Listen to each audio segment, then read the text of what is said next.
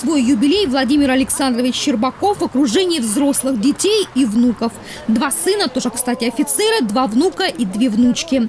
По ресторанам, признается юбиляр, он не любитель ходить, но вот родственники, друзья настояли, для всех это настоящий праздник.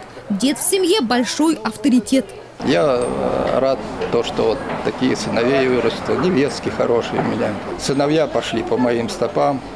Вот один полковник, другой подполковник. В 1956 году Владимир Щербаков начал службу в армии. После окончания десятилетки сельской школы. Попал в пограничные войска, да так впечатлился, что решил поступать в Алма-Атинское пограничное училище.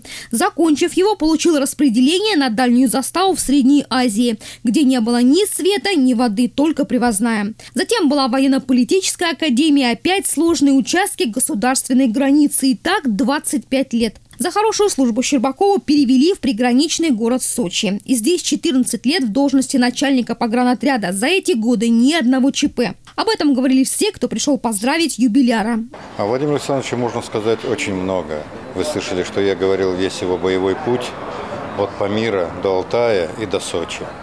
Это говорит о том, что человек всегда не искал никогда э, спокойных мест. Он находился там, где он нужен был для своей родины. В адрес Владимира Александровича пришло много поздравлений отовсюду, где он служил. Некоторые из них были зачитаны тут же на празднике. Ну а самые важные и приятные поздравления, конечно же, от внуков, в воспитании которых он принимает активное участие. Финалом праздника стал вот такой пограничный торт. Елена Овсецина, Алексей Давыдов, телекомпания «ФКТ».